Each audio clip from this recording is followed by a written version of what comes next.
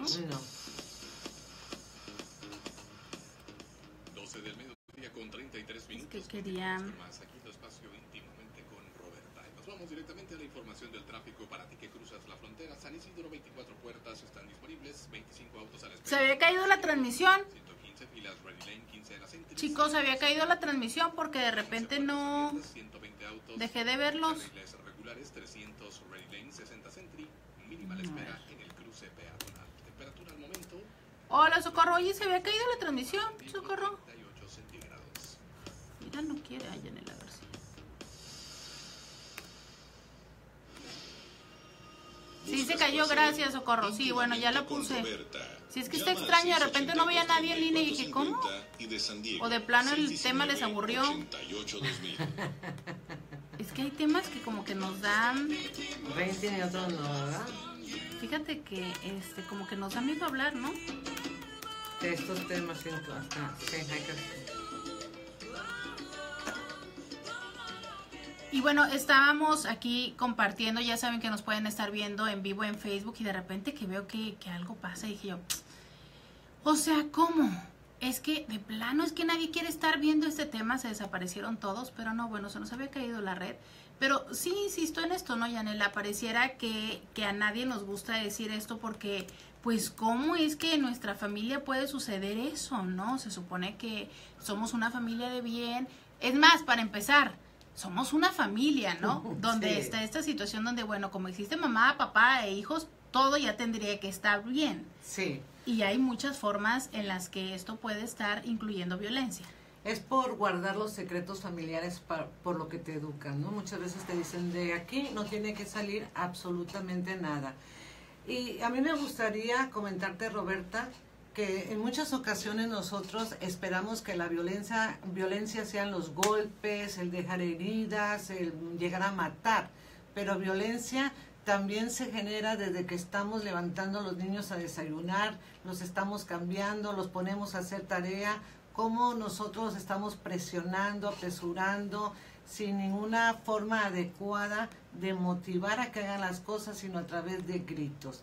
Muchas veces pueden tomar la leche, ya es una palabra ofensiva, ya es un manotazo, ya no hubo ese buen día, un buen deseo de ir a la escuela. No, como el, pero es que qué tonto estás. Tienes manos de mantequilla. No, o sea, a ver, a todas las personas se nos caen las cosas, a todas las personas, ¿no? Digo, a lo mejor podemos llegar a tener una motricidad más torpe, pero aún así a todas las personas se les caen las cosas, pero cuando tú empiezas a decirle consistentemente tienes manos de mantequilla, no sirves para nada, pues claro que llega un momento en el que si tú que eres la mamá o tú que eres el papá y que eres la persona más importante le estás diciendo no sirves para nada, pues adivina cuando sea adulto que va a pensar de sí mismo. Y eso es violencia verbal. Entonces estamos etiquetando al niño y en el futuro ese niño pues va a tener menos autoestima porque se siente el lento, el tonto, el torpe, el que no sabe conducirse adecuadamente. Entonces es bien importante que no nomás estemos esperando la sangre, las situaciones, la muerte, sino empecemos desde lo del principio, lo que es saludar un buen día, desear que le vaya bien a la escuela, al esposo, al hijo, a la familia, ser amables. Eso es bien importante. Oye, pero por ejemplo, eh, ahorita que, que dices esto, de repente me surge el hecho de, pues para yo poderle desear un buen día a mi esposo, a mis hijos, de repente es que yo tengo que pensar que es un buen día. Y yo escucho en consulta a muchas personas que me dicen, es que en la mañana me despierto y es como, ay, otra vez. Así Ay, es. ya voy tarde. Sí. Entonces, e- ese es un tema interesante, ¿no? O sea, es a, a ver, antes de pensar en lo que estás ejerciendo hacia los otros, también es importante cómo es que te hablas a ti mismo, porque si tú también eres de los de que se te olvidaron las cosas, ¿no? Es, es que iba de salir y se me olvidó, ah, pero qué bruta soy, porque no nos decimos así, nos decimos otra penitente palabra, ¿no? Y entonces si tú también te estás hablando hacia ti, pues no se te hace nada complicado el día que el niño dejó la mochila decirle lo mismo. Sí. Roberta, existen muchos índices de depresión de- y de bipolaridad y es muy es interesante que todas las personas vayamos con el psicólogo para saber qué es lo que está pasando con nuestra vida. En ocasiones culpamos que no somos felices porque tenemos una pareja que nosotros elegimos, que nosotros nos enganchamos y puede ser una pareja tóxica. pero lo que realmente estamos buscando es una ausencia de esa imagen parental ya, con el papá y con la mamá, porque son relaciones que de alguna manera, porque se han dado inadecuadamente a través del maltrato. Si nosotros nos ponemos a ver a través de las generaciones o de nuestros abuelos, de bisabuelos, padres, cómo nos fueron educando, esto se puede ver como una forma cultural. Entonces el machismo existe y también pues en esa violencia de género estamos nosotros provocando que en nuestras relaciones de pareja eh, también nos llevemos entre los pies a los hijos. Entonces tenemos que dividir si yo soy violentada por mi pareja, fui violentada por, obviamente yo elegí una pareja violenta es porque yo vengo de un hogar violento y de esta manera elijo algo que me es conocido y que me da seguridad, la violencia. Qué curioso, ¿no? porque es lo único que conozco y se me hace normal. Por eso no son, no son para esta persona alerta que puede resultar inadecuado para esa relación y también para los hijos. ¿Qué es lo que tenemos que hacer nosotros? Lo que tenemos que idear es saber cómo estamos como persona y muy independientemente del problema que tengas con tu pareja, tú tienes que ser amable y saber que tienes una misión de ser mamá. Y, y cuando hablamos acerca de eh, cómo es que vamos llevando esto, esto cotidiano y de esta misión de, de ser mamá, yo creo que de repente es importante hasta incluso cuestionarnos cuando todavía tienes la oportunidad si realmente quieres ser mamá o papá. Y cuando ya estás ahí, que ya es demasiado tarde, es qué es lo mejor que puedes hacer de esto. Porque también he encontrado muchas personas que luego culpan, hace un momento le decías tú, no, tú elegiste esta pareja y no la elegiste hace seis meses que empezaste a salir, hace un año o hace 15 años que te casaste, la eliges en la mañana cuando decides terminar el día con esa persona, ¿no? O sea, lo eliges todos los días. Y muchas personas luego culpan a los hijos de, es que tú me arruinaste la vida, es que tú por dedicarme a ti, bueno, pero es que volvemos a esa misma situación, ¿no? En ningún momento es que él te está obligando a que renuncies a tu vida, este pequeño o esta pequeña, y no tiene por qué pagar esa consecuencia. Claro, cuando tú tienes ausencia de felicidad, cuando eres infeliz, que no es grosería, es ausencia de felicidad, todo te va a parecer mal y patético. Entonces, ¿qué es lo que tenemos que hacer? Trabajar con el individuo, a partir de nosotros saber qué queremos hacer, porque muchas veces las mujeres también somos provocadoras, porque dentro de esa estructura de la personalidad puede ser o neurótica o tener algún problema mental o estar en un estado fronterizo o ser seminormal como todos los humanos que llegamos podemos llegar a ser perfectibles pero no perfectos. Entonces, ¿cómo estoy yo? ¿Quién soy yo? ¿Qué quiero yo?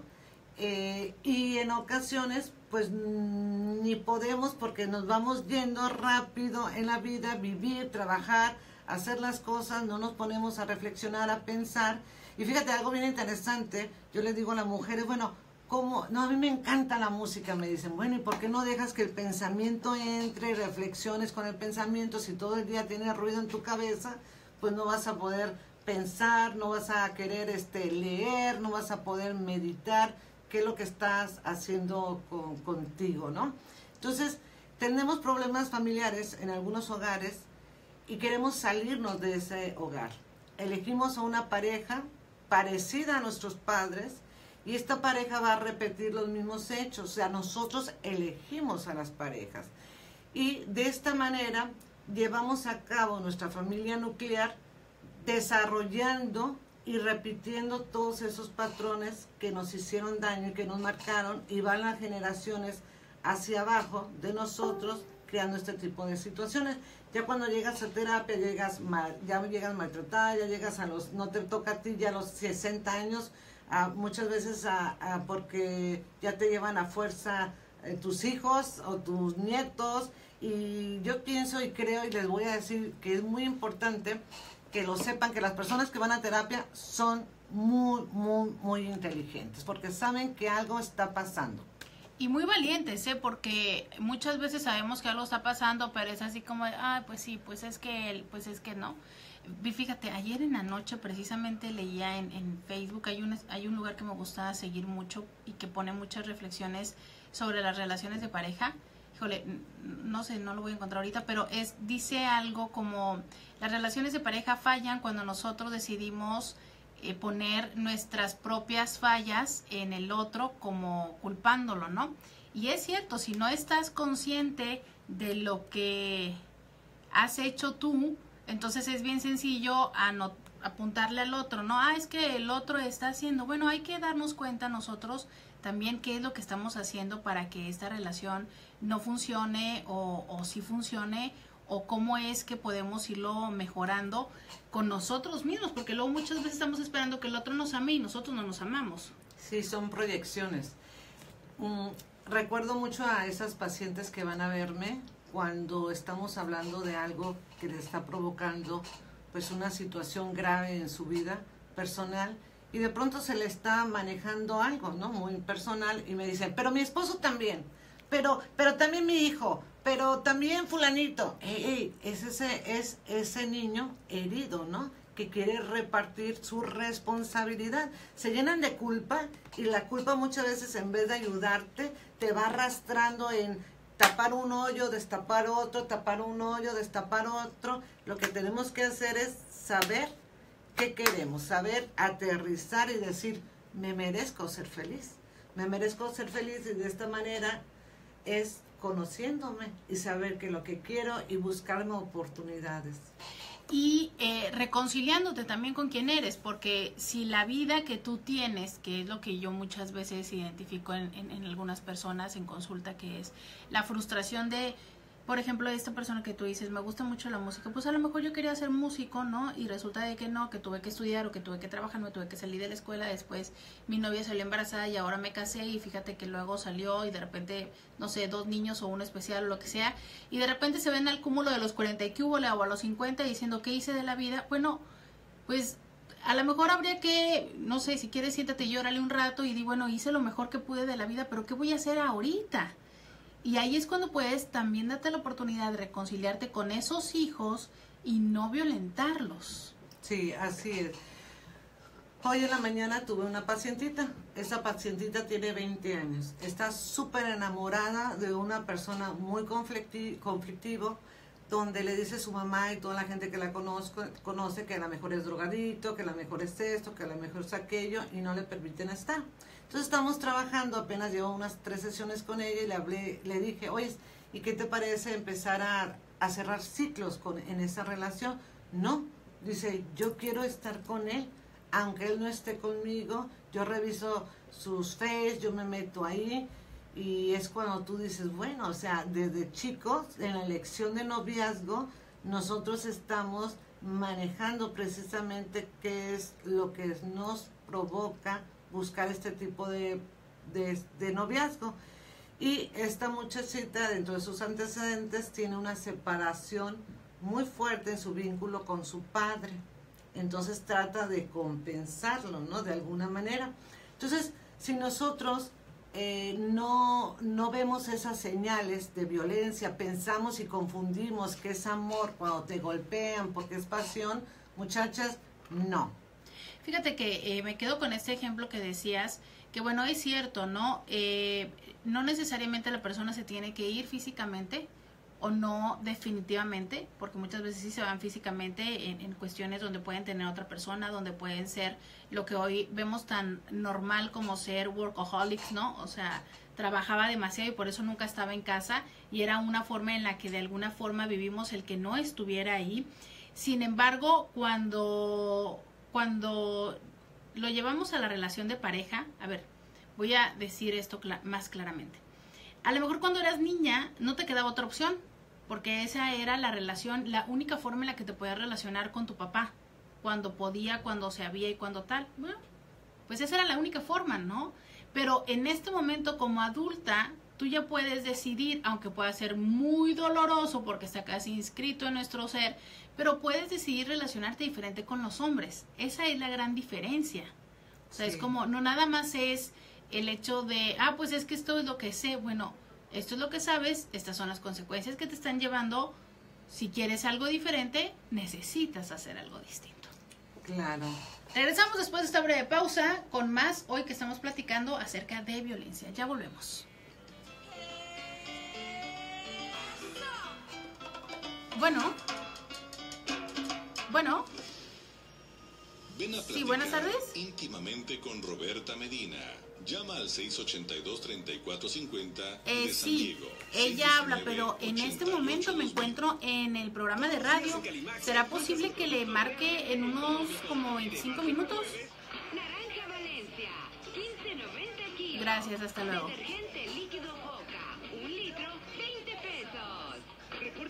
Y ya ven varios que estaba marque, marque, marque. Válido con el 26 de octubre. La adversidad nos ¿Me están viendo Facebook? ¿O ya se volvió a caer? A ver si para febrero me invitas para hacer aquí mi presentación de libro. ¿A poco ya sabes? ¿Ya lo escribiste? Sí. Ya está ahorita con derechos de autor y todo eso, pero está muy padre porque habla y da muchos testimonios de tipos de violencia. Es novela. Es una novela muy padre, muy bonita. Te va a ¿Tú gustar. la escribiste? ¡Qué Sí, sí, te va a padre! gustar. Siempre he querido estudiar psicología para ser escritor. ¿Cómo crees? Sí. Continuamos con más. Qué chistoso, ¿no? Nunca- ¿Cómo es que llegaste a esa? personalidades y todo eso. 12 Ah, por eso novela. Ah, mira nada más, qué padre. Sí, sí. Ya después. Qué padre, sí, claro. Claro que sí. Sí, sí, sí. 25 autos a la espera, Ay, qué 115 pilas interesante. Red Lane, ¿Tú también aceración haces 25, psicología? cruce peatonal. Uno de, de, de, de 120 ejemplos. automóviles. Fíjate que he pensado mucho porque, este, sí, Después te voy a decir Afortunadamente. me estoy apoyando yo, ¿eh? sí. Con una escritora Ah. en un taller literario. Ah, sí, me la super bien, porque sí hay muchas cosas que tengo y de hecho muchas personas me, me dicen, pero este, ¿Buscas placer? Como que no logro. Llama al encontrar- 682-3450. es que casi siempre las cosas que hago primero voy y las estudio, sabes, como para 619-88-2000. saber cómo. Y entonces digo yo a ver cómo por dónde, ¿no? Y lo traigo todo en mi cabeza, pero no me. Y mi hijo es editor para cuando gustes. ¿eh? Ah, qué padre. Sí, Eleonora, sí que, sí lo vas a decir o que sí que, sí te bloqueo. A ver, ¿eh? Hoy que estoy hablando de violencia, te puedo violentar también aquí en Facebook. Eh, ya estamos aquí en Facebook yo peleándome porque me quieren delatar. Oye, eh, Yanela, estábamos hablando de, bueno, así fue nuestra vida. Seguramente es que si no hacemos un alto, estamos repitiendo lo mismo que estuvimos teniendo. Pero lo que me parece importante es decir, a ver, si esto no te hace feliz, si esto no te está funcionando, independientemente de que sea lo que, sabe- lo que sabes hacer, hay otras posibilidades. Claro, hay otras posibilidades. El DIP tiene programas de escuela para padres, para control de ira, también grupos de codependencia y nosotros en- a través de Grupo Apoyo y en la, en la clínica particular, en Grupo Apoyo también trabajamos con niños que, con personas que están eh, necesitados de saber qué es la codependencia, ¿no? Cómo no podemos salirnos de esa relación tóxica y la codependencia tiene todas las características de lo que es la depresión, entonces son niños o son personas que vienen con, con un sufrimiento de anterior, an- anterior desde sus padres, de sus abuelos, y es importante nosotros trabajar con esos mm, patrones, esas pautas conductuales que tenemos para poder cambiar. Entonces, si tú buscas ayuda, te garantizo que te vas a ahorrar muchos años de sufrimiento, vas a dar una te vas a dar una calidad de vida para ti y tú vas a dar calidad de vida para los otros y sobre todo para los que más amas, que es tu familia. Y cómo de esta manera vamos a poder ayudar a otras generaciones a tener esos valores, esas, esos, esas, esos cimientos para que la familia siga dando pues ciudadanos y no nos hagamos daños a unos a otros. Y bueno, cuando hablamos acerca de niños hay que decir una cosa. Hemos estado hablando hasta este momento del programa del entorno familiar. Lo cierto es que eh, los niños están dentro de un entorno que, híjole, no sé, a mí me parece incluso hasta más violento porque los niños son muy crueles. Son muy crueles y no tienen empacho alguno en molestar, en lastimar, en decir cosas que puedan eh, dañar no la integridad de los otros niños. Entonces los niños ya están en un ambiente que está siendo un reto para ellos. Y aunque hoy hay una palabra que se utiliza mucho que es el bullying esto ha existido desde siempre nada más que antes era carrilla eras el porquito del grupo y tal y que es precisamente por eso importante que ellos tengan herramientas para poder salir adelante en ese entorno. El acoso escolar. Los acosadores son personas que pueden venir a través de una familia donde existe violencia, porque también violencia es no estar checando qué tipo de videos estamos jugando, qué tipo de programas en televisión o qué tipo de series estamos nosotros viendo todos los días. Nos estamos llenando de mucha información que en vez de construirnos nos destruye. Entonces, también es una falta de maltrato no tener atención, ¿verdad? Que es lo que nuestros hijos están aprendiendo a través de los medios de comunicación. Entonces el acosador repite lo que ve, repite su ausencia, a lo mejor es una mamá que tiene que trabajar, un papá, pues es una necesidad, pero el tiempo que esté en familia tiene que hablar de calidad, tiene que las mujeres cocinar, tienen que seguir atendiendo para que se sienten dentro de ese núcleo y queridos, amados y sobre todo que le estamos brindando atención.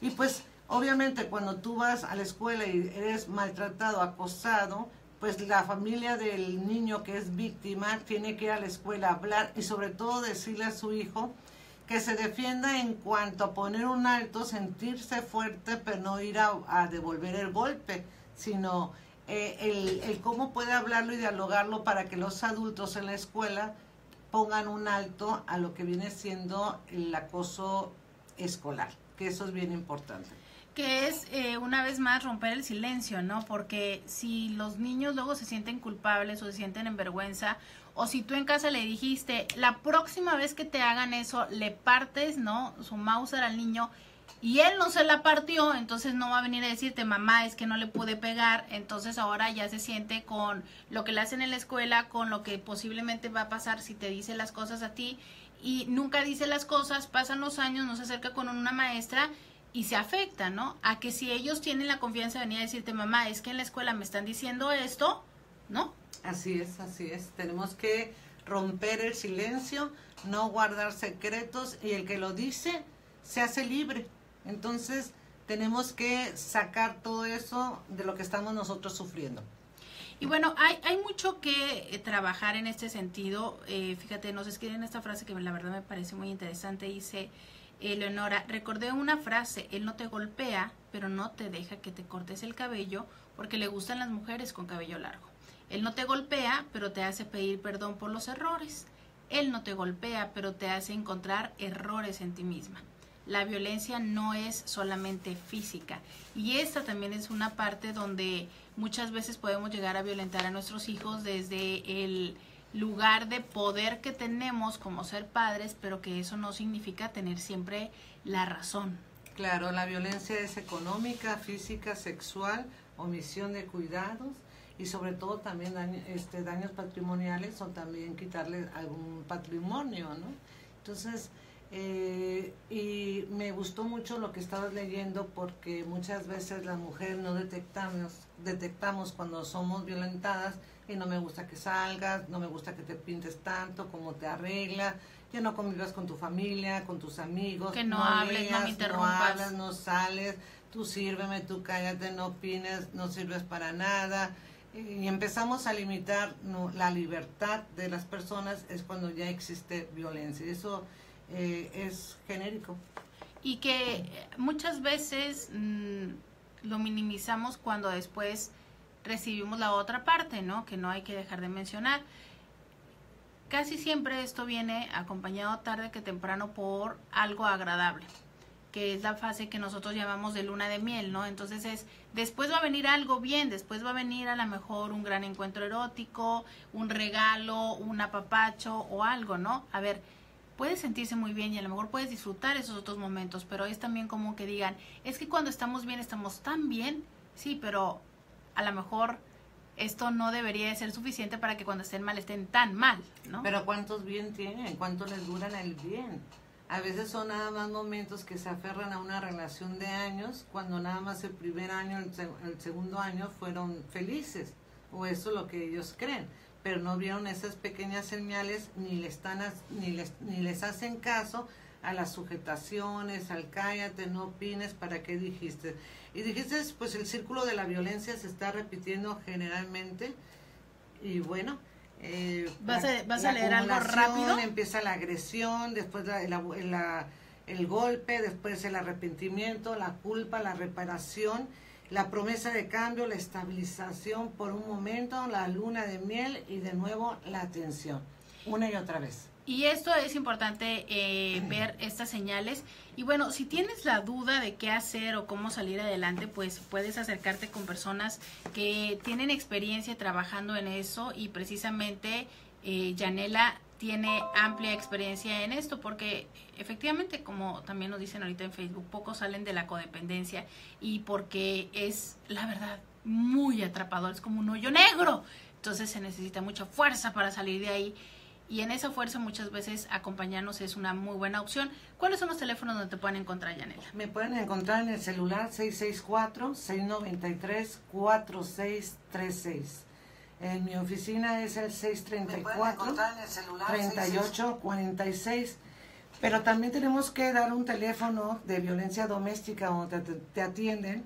Cuando ya es una situación de vida y muerte, es el 680-3187. Mujeres, existen albergues para ti y para tus hijos. 680-3187.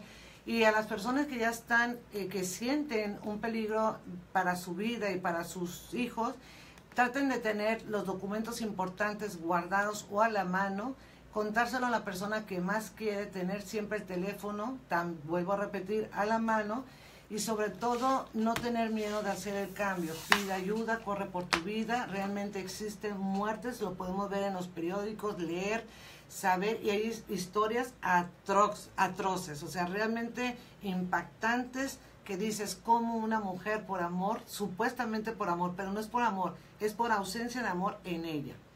Y esto es necesario que en los primeros momentos trates de hacer algo, no esperes a que sea más tarde. Y aunque sientas que las puertas se te cierran, de verdad, dos mentes piensan más que una. Entonces, acompáñate de alguien más que pueda ayudarte a ver esas otras opciones. Muchas gracias por habernos acompañado, Yanela. Muchas nada. gracias a quienes nos acompañaron aquí en Facebook, en WhatsApp, eh, ya, este, Leslie y Walter en cabina y a ti. Hasta mañana. Hasta mañana. Muchas gracias.